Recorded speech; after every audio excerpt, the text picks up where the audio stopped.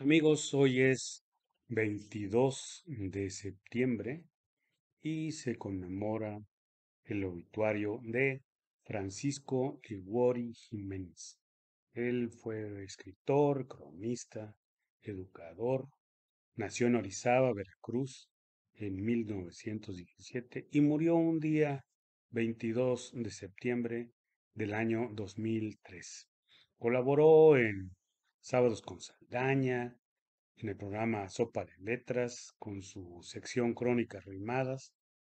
Publicaba en la revista Siempre, eh, Hijo Predilecto de Orizaba.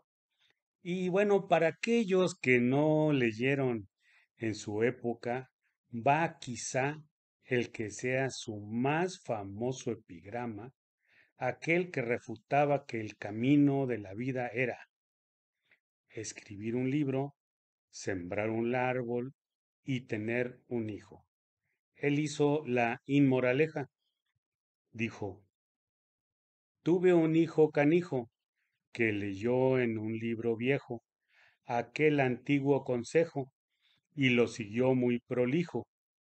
En su propósito fijo pensó como buen pendejo, seré feliz porque dejo un libro, un árbol y un hijo pero le salió mal todo, pues por irónico modo logró al fin de su jornada un libro muy aburrido, un árbol seco y torcido y un hijo de la chica.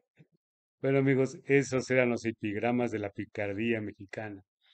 Bueno, hasta la próxima, que tengan un feliz día.